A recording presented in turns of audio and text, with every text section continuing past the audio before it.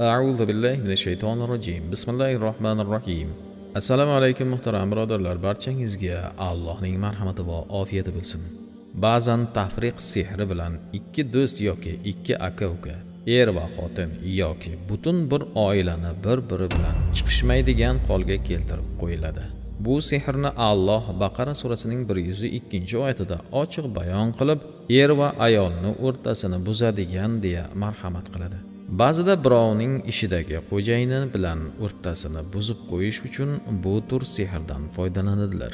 Maqsad esa uni ishdan quvdirib o'rnini egallab olish bo'ladi. Bugun ba'zilar bir sehrgarga bayat qilib olib har bir ishida u bilan mashvarat quradi. Biror ish qiladigan bo'lsa ilmlarini joyiga keltirib so'ngra o'sha ishga qo'l uradi bu faqat shu o'ta tez o'tib ketadigan juda tez fursatda ortda qoladigan dunyo uchungina yashaydiganlarning amalidir. Bundan so'ng uni og'ir juda og'ir kunlar kutib turadi. Alloh barchamizni bu holga tushishdan asrasin.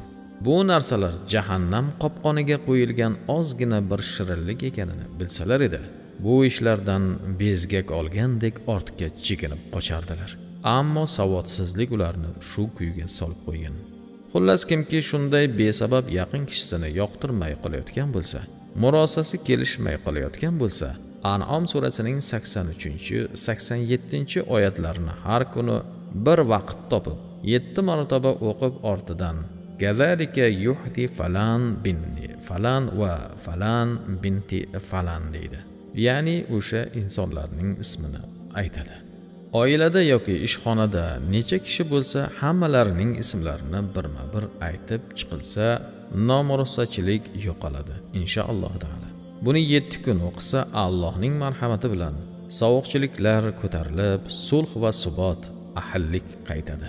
Bu besh oyatni zafaron bilan yozib ostiga yuqoridagi aytilgan duoni yozib yuvib ichirilsa ham foydasi yaxshi bo'ladi. Marhamat oyatlar va duo kirilchasi pastdagi birinchi silkaga qo'yilgan.